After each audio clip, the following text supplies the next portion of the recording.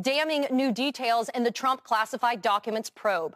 The Guardian's reporting Trump's lawyer was, quote, waved off from searching Trump's office for records, which was later where the FBI found the most sensitive materials. Noting several Trump aides told this lawyer, Evan Corcoran, to search the storage room where he found 38 classified documents.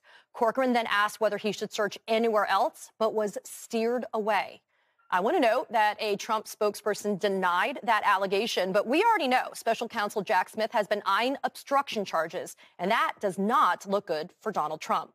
New reports also depicting chaos on Trump's legal team. The Daily Beast reporting Trump's lawyers are starting to wonder if there might be a snitch. When is that? Snitches get stitches. One member of his legal team saying, quote, there's a lot of lawyers and a lot of jealousy.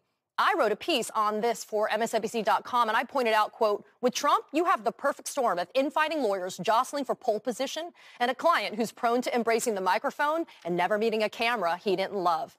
I concluded, quote, it's a recipe for an attorney client disaster.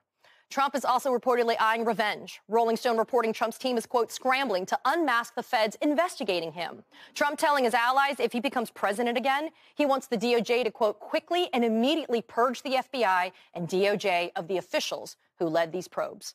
Joining me now is Hugo Lowell, political investigations reporter for The Guardian. He broke that story that we just reported, and Dave Aronberg, state attorney for Palm Beach County in Florida. Hugo, I'm going to start with you. What can you add to your great reporting about Evan Corcoran being steered away from searching Trump's personal office at Mar-a-Lago? Yeah, we know that the special counsel in this investigation uh, pierced the attorney client privilege between Trump and the lawyer Evan Corcoran because he suspected uh, that Corcoran was misled.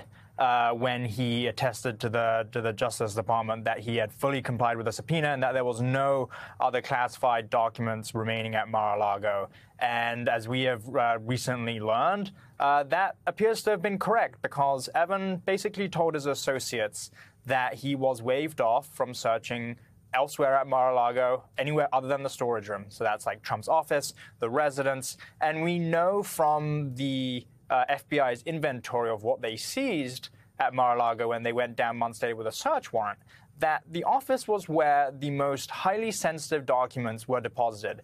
Dozens of top secret and secret documents were found uh, either in Trump's desk drawer or in a leather bound box. And so the fact that Evan was not given the opportunity or was basically steered away from looking in the office becomes really important in the obstruction investigation, like you said. And this is not an accident. This was him deliberately being told, don't go to the office. It's just sufficient to look in the storage room. And we think, you know, based on our reporting, that that is material, that is a material misleading statement.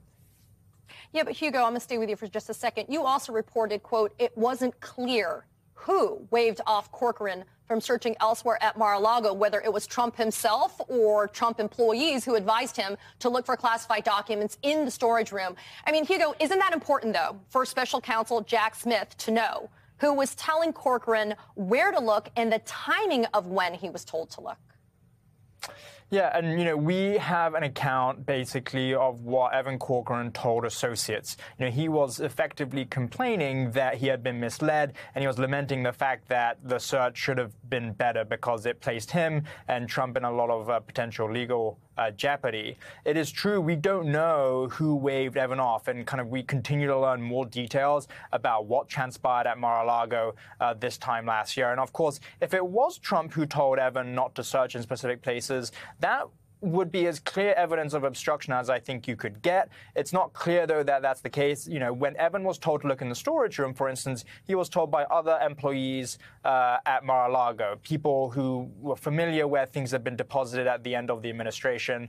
Um, so we don't know exactly who told him where to look. But the fact that generally he was steered away from where the most highly sensitive, the most highly classified documents were kept, we think is, is, is particularly important to the investigation. Dave, let's talk about people in the know.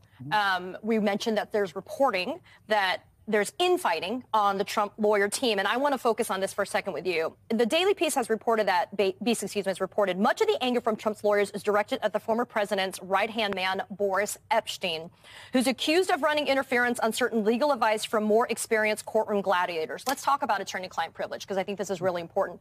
Hugo just talked about the fact that there were these 50 pages of notes mm-hmm. that were done by Evan Corcoran. The attorney-client privilege is pierced, but walk me through this a little bit if it's not Donald Trump, if he's relying on Boris to be able to tell somebody like Evan Corcoran where to look, do you truly still have an attorney-client relationship there? Because I feel like you wouldn't have had a piercing of attorney-client privilege if it didn't involve Trump in some way. Yeah, no, this is all going towards Donald Trump. That's why the greatest threat to Trump's future freedom is in the Mar-a-Lago documents case because there is a direct tie between Trump and the alleged criminality there. That's why they're able to pierce attorney-client privilege because there's a crime fraud exception. And the thinking is that Trump used his lawyers to facilitate a crime. And so, yeah, they can try to blame it on Boris Epshteyn. He's an easy target. But at the end of the day, these lawyers are quitting for a reason, I think, other than personalities. I think they worry about being prosecuted themselves. And also, Trump's a tough uh, client to have. I mean, the lawyer uh, sent a letter, Evan Corcoran, excuse me, uh, Parlatore sent a letter to Congress saying Trump didn't pack the documents himself. He had no dirty hands. It was his staff who did it. And then Trump went on that town hall and said, no, I did it. I'm the one who did it. Here it is. And so that's why I think that they're so frustrated with Trump. And instead, they're just blaming it on, all on Boris Epshteyn. Mm, I think they're trying to cover for Trump. But can Trump invoke that as a legal defense? If Jack Smith comes after him, can he say, don't look at me. I didn't tell the FBI, the DOJ where things are. I didn't tell Evan Corcoran where to look. That was Boris's fault or that's Evan's fault. That's what he's going to say. Like, I'm not the one who said this. But then if the reports are right that he's the one who told his valet, Nauta, Walt Nauta, to move the documents before and after the subpoena, oh, that's a one-way ticket to the Hooskow. I mean, that is really bad for Donald Trump. Plus, he's the one who keeps saying the documents are mine. And so it's his own words. I think they're going to get Donald Trump in trouble. I don't think you can just blame this on lawyers that he had nothing to do with. These are his people. These are his words and his directives. Yeah, so Hugo, I mean, Ari himself has spoken with Boris Epshteyn on the beat before. Boris has admitted to being a part of the fake electors plot, the potentially illegal plot that is currently part of the Georgia criminal probe, as well as, frankly, the Jack Smith investigation. Let's take a quick listen. I was part of the process to make sure there were alternate electors for when, as we hoped, the challenges to the seated electors would be heard and would be successful per the 12th Amendment of the Constitution and the Electoral Count Act. Everything that was done was done illegally by the Trump legal team, by according to, to the rules and under the leadership of, of Rudy Giuliani. I kind of had to like take a listen. Did he just say it was done illegally under the leadership of the Trump legal team? Hugo, is this the kind of lawyer that you want to be quarterbacking your legal team and organizing your legal defenses when he admits uh, to something that doesn't sound legal to me, to Ari Melber on live TV? I mean, aside from what Boris is saying himself, I mean, we know that Boris Epshteyn is the subject, at least, of multiple criminal investigations. You know, he went and sat uh, for an interview with the special counsel in the January 6th investigation. He went and testified to the Fulton County District Attorney's investigation in Georgia examining election interference there. He is a subject, potentially a defendant in multiple criminal investigations, and he is currently representing, as the in-house counsel, in his own words, the president, the former president, who himself is the subject, if not the target, of these same criminal investigations. So it is rather astonishing that you have a lawyer whose own interests may not actually align with his clients, and yet he's continued to be a trusted advisor and continues to be uh, the point person for the legal team. And I think that is partly why uh, some of the lawyers have been so frustrated uh, with having to go through Boris, have been so frustrated with having to deal with him uh, as the point person. I think, as you know, David said, you know, this is going to be an issue going forward, especially if these cases lead to indictments you know, David, it's not just having Boris gatekeeping access to Donald mm-hmm. Trump when you're the lawyer. Let's talk about what I wrote in my piece, which is how do you quarterback this many lawyers? I'm kind of stuck on this idea. So Alina Habba had to make an affirmative representation to a judge in the New York Attorney General's case about her searching for production of documents that had to be compliant with a court order. She certified to this judge, I looked at Bedminster, I looked at Mar-a-Lago, I looked at all these locations to search for these particular documents. And yet the timing of it would have coincided with the turning over or the requirement of turning over of classified documents found at Mar-a-Lago.